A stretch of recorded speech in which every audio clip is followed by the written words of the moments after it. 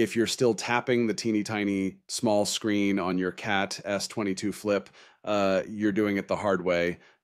Let me show you a smarter way to use it without ever touching the screen. With this one app, your cat becomes fully controllable with just the D pad. It's fast, precise, and surprisingly satisfying. Tapping on the small touch screen of the cat isn't practical, and on top of that, if you are wearing gloves, have dirty hands, or just big fingers, it is a pain. That's where Clicky App steps in. It's easy to set up and works after you give it the requisite permissions. This app overlays a mouse pointer on your screen. You move it with the D pad and click using the center button.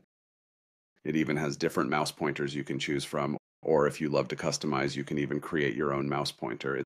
It's so easy. Just select an image with the right size and you have a pointer. Voila! You can even choose how big or small the pointer is or how fast it moves. Use it to open apps, browse the web, or even scroll, all without lifting your finger off the D pad. It makes using the cat with the D pad so intuitive and easy. Try Clicky for yourself. The link's in the description. If you found this video useful, drop a like and subscribe for more dumb phone hacks.